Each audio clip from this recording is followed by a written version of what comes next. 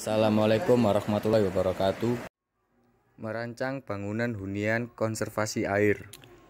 Konservasi air pada prinsipnya adalah penggunaan air hujan yang jatuh ke tanah untuk kegiatan seefisien mungkin dan mengatur waktu aliran air agar tidak terjadi banjir yang dapat merusak serta tersedianya air pada musim kemarau. Untuk menjamin ketersediaan untuk generasi masa depan, pengurangan air segar dari sebuah ekosistem tidak akan melewati nilai pergantian alamiah.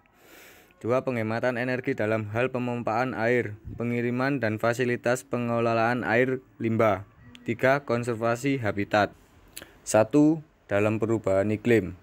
Sekarang ini banyak tumbuh bangunan hemat energi. Merancang bangunan pun menjadi salah satu elemen yang patut diperhatikan. Dua, dalam penghematan energi melibatkan semua sektor, yaitu rumah tangga, perkantoran, perusahaan, dan lainnya.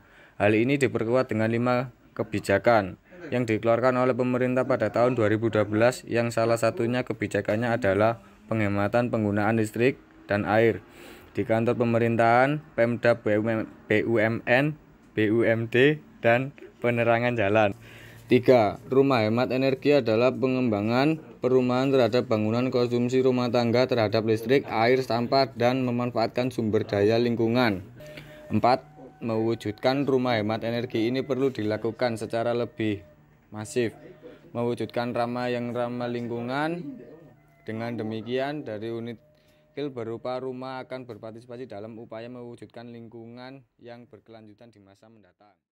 Sekian dari kami. Wassalamualaikum warahmatullahi wabarakatuh.